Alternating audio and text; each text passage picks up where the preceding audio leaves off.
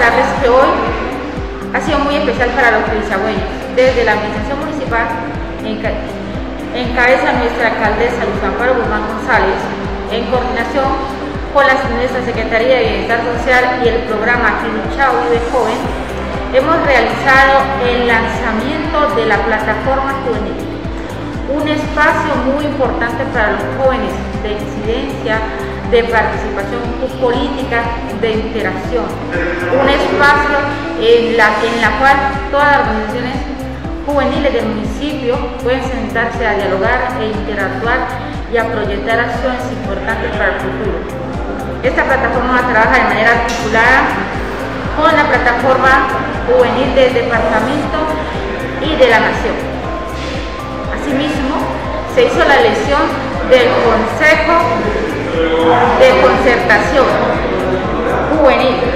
el cual es un espacio de diálogo permanente entre la administración municipal y las organizaciones juveniles, desde el cual se escuchan y se reciben todas las propuestas de los jóvenes, es, es decir, es un espacio de incidencia y de participación política, el cual será de manera activa y permanente. El día de hoy lanzamos eh, la plataforma juvenil en un evento histórico, una deuda histórica que tenían las administraciones municipales con los jóvenes,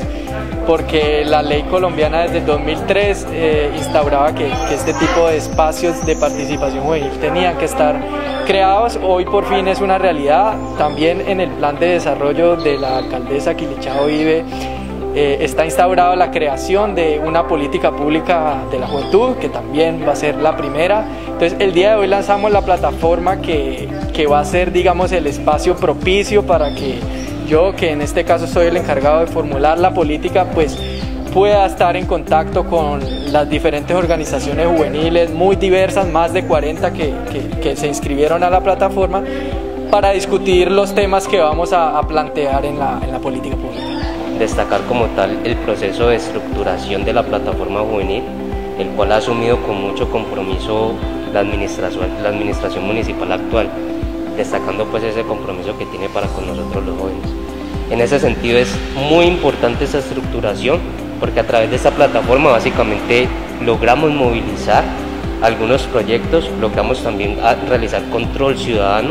logramos hacer veeduría, que es básicamente lo que da cuenta de esa eficiencia, esa eficacia y esa legitimidad que tienen como tal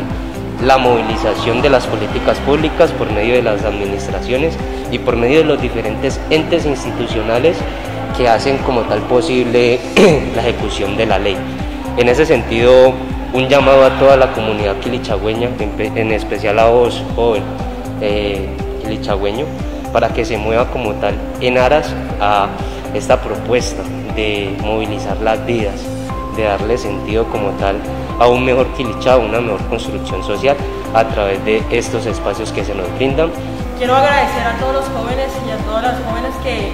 confiaron y que confían en nosotros en este proceso. De verdad que estamos aquí para llevar a cabo, para cumplir esos sueños y esas aspiraciones. Estamos aquí con mi compañero para lucharla como siempre lo hemos hecho en diferentes procesos y decirles a cada uno de ustedes jóvenes que pueden seguir confiando y que pueden tener eh, la plena certeza de que estamos aquí para construir entre todos y todas este nuevo proceso. Cordial saludo, comunidad lechagüeña, compañeros y compañeras. Pues hoy hemos hecho un ejercicio muy importante, las juventudes de Santander de Quilichao,